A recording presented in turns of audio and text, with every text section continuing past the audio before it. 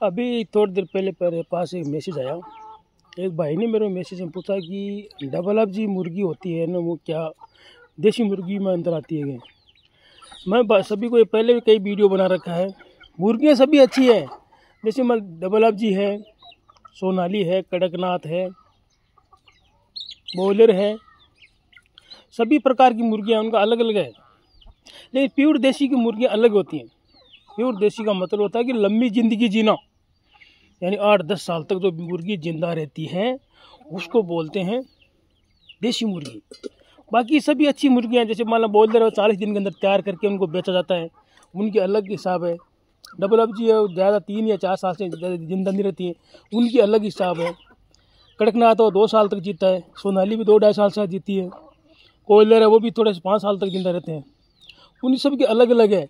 लेकिन जो प्योर देसी मुर्गी होता है ना प्योर देसी हमारे देसी भाषा के अंदर बोलते जो जो आपको स्क्रीन के सामने देख रहे ये मुर्गे हैं। ये मुर्गे दस साल तक ज़िंदा रहते हैं। इनको अच्छी तरह से खिलाओ अच्छी तरह से पिलाओ अच्छी तरह रखो।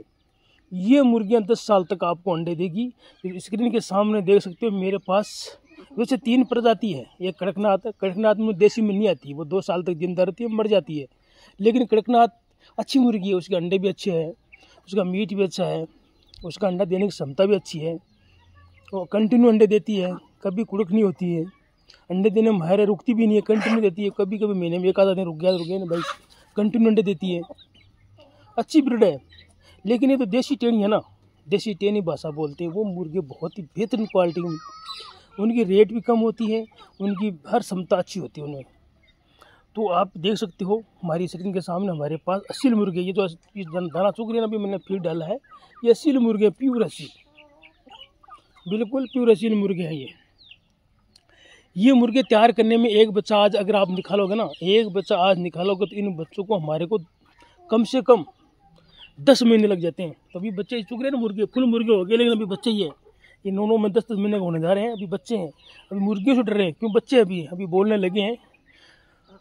तो ये कितने दस साल तक ज़िंदा रहते हैं। और इनकी रेट भी अच्छी है, इनका मीट भी अच्छा है, इनमें कोई बीमारी नहीं लगती है। जो बच्चे होते हैं, छोटे बच्चे, जैसे असील के बच्चे हमने निकलवाएँगे ये दस बच्चे असील के छोटे।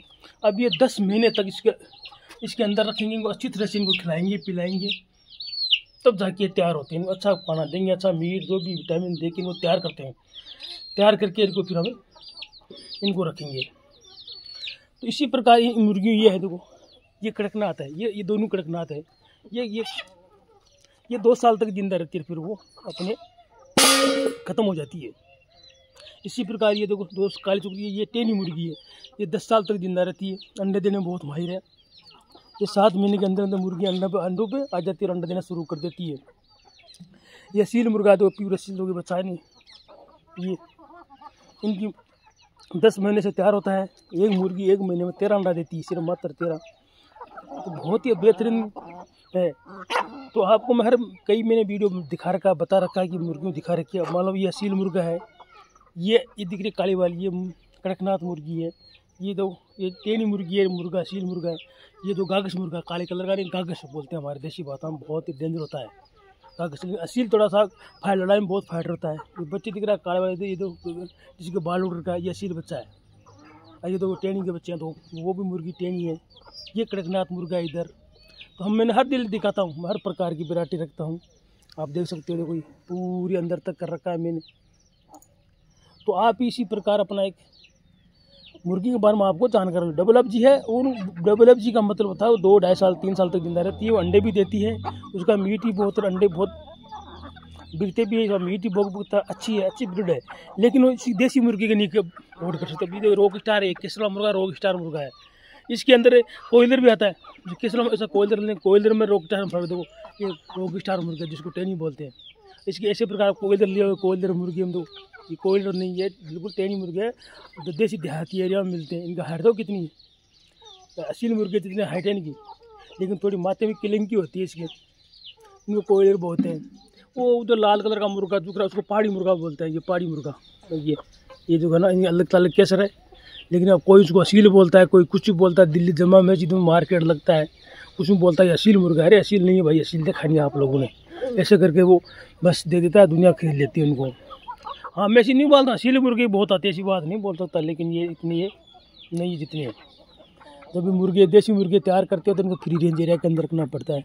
ये फ्री रेंज एरिया दिख रहा है ना, इसमें घूमते सारे दिन, तब जाके तैयार होते हैं। अगर ऐसे पिंजरे में डाल दिया ना ऐसे बच्चों की तरह तो ये कामयाब नहीं होंगे, जब हमारे बच्चे नहीं, ये कामयाब नहीं, ऐसे ऐसे बड़े मुर्गों नहीं डालते। बच्चे डाल रखा भी बाहर निकालेंगे। इन्हीं मुर्गियों के हैं। तो हमने एक महीने मुर्गियों को पास रखते हैं, फिर उनको अलग कर देते हैं। इनको एक महीने एक महीने मुर्गियों को पास रखते हैं, फिर वो अलग कर देते हैं बस, सीधा अलग है वो। ये फिर मुर्गी अंडों पर आ जाती है, नहीं तो मुर्गी पाँच छः मिनट तो बच्चों को नहीं छोड़ती है। अब अब एक मुर्गी को मान लगी सोच को पंद्रह बच्चे निकाले तो लास्ट तक उसके पाँच छः बच्चे बचते हैं, पूरे मर जाते हैं, कहीं ना कहीं नेवला खा जाता है, कहीं दबके मर जाता है, कहीं मुर्गा मुझे मार दिया, कहीं वो ने मार दिया। तो इसलिए उनको एक महीने में अलग कर देते हैं। फिर थोड़ी सी विटामिन देते हैं थोड़ी अच्छी खुराक देते हैं ताकि जल्दी वो तैयार हो जाए। बस ये देखो। स्क्रीन में देख सकते हो, मेरे पास प्योर देसी मुर्गे हैं, बिल्कुल प्योर देसी। अगर आपको पता हो तो देख सकते हो। बहुत ही बेहतरीन क्वालिटी के मुर्गे हैं। इसको बोलते हैं देसी मुर्गे, इनको। बाकी देसी वो सभी मुर्गे अच्छे, मैं ये नहीं बोलता हूँ बोलर अच्छे हैं, कड़कनाथ अच्छे हैं, डबल अफजी अच्छे हैं, कोयलर अच्छे हैं, सोनाली अच्छे सब बढ़िया है, लेकिन अलग अलग मुर्गे अलग अलग वरायटी है। देसी घी है, डालडा घी है, फ़र्क तो है ना? बोलर का मीट है, देसी मुर्गे का मीट है, देसी अंडा में और बोलर के अंडे में। बस सेम वो इनकी कहानी है। तो भाई मेरे पास तो प्योर देसी इनको बोलते हैं। ठीक है प्योर देसी इनको बोलते हैं जो भी आपके स्क्रीन के सामने देख सकते हो, ब्रो। बहुत ही बेहतरीन क्वालिटी के मुर्गे हैं मेरे पास जो भी दुनिया में देखने के लिए आती है। मुँह की मांगी कीमत देती है। ताकि जो चीज़ मैं बोलता हूँ, वो उनको सही निकलती है। तो आप देख सकते हो इसलिए बार मेरे पास कम हो गया, मैंने बहुत सारे सेल कर दिए। अभी मेरे पास सत्तर के लम्स छोटे मोटे तो मेरे पास पहले सौ डेढ़ सौ होते गर्मियों से पहले मैंने धीरे धीरे सेल कर दिए इनको। तो आप देख सकते हो बेहतरीन, बहुत ही बेहतरीन क्वालिटी के मुर्गे आपको इनको मैं थोड़ा बाजरा ला के डाला, थोड़ा फ़ीड जब डालता नहीं, लेकिन थोड़ा डाल दिया, मैं चलो कुछ खा ले। भाई खाते नहीं है वो आज खा रहे हैं।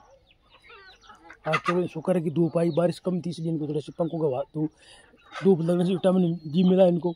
अच्छा इसका शरीर, इनका फिट रहते हैं। बाकी दिन भर अंदर पड़े पड़े पड़े पड़े, बीमार हो जाते हैं। तो ये देखो रोग स्टार बच्चे तो ये, बिल्कुल बच्चे हैं, छोटे मतलब कितने हाइट है, कितने तकड़े हैं। ये रोग स्टार देखो, ये देखो गागस मुर्गा ये प्योर काले वाला देखो ये। ये तो प्योर गागस बोलते हैं हमारे। ये पूरी असील है देखो, ये भी असील है, वो भी असील है देखो। तो हमारे पास भी देखो, ये भी दो असील दे आ रहा है ये ये वो लड़ाकू है फाइटर लड़ाकू है। ये देखो ये असील। ये तो रोक स्टार देखो, ये जा रहा है बात है तो इनको एक साथ रखते तो क्या झगड़ा नहीं करते आप डरते रहते हैं, अपना ये सेट हो जाते हैं। अपने आप में सेट हो जाते हैं। तो इनको बोलते हैं प्योर देसी मुर्गे।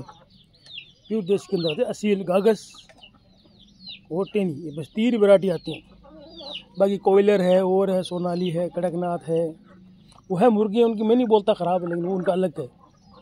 वो छोटी कास्ट के मुर्गे हैं, डालडा की तरह ये है देसी की, देख लीजिए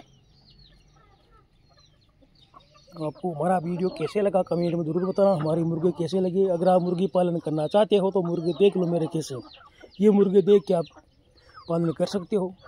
इनकी अंडा की क्षमता मैंने बता दी। इनकी जीवन काल बता दिया। कितने ज़िंदगी जीते कितने दिन के बाद में अंडा शुरू करते हैं। अब बॉयलर है सॉरी, अपनी ये कड़कनाथ है, ये चार महीने का बच्चा अंडा देना शुरू कर देता है, फिर मात्र चार का। ये टेणी का आठ महीने में शुरू करता है, असील का दस महीने में जाता है, गागस का भी दस महीने में शुरू करता है। दस महीने तक वेट करना पड़ता है, कहाँ चार महीने, क्या दस महीने?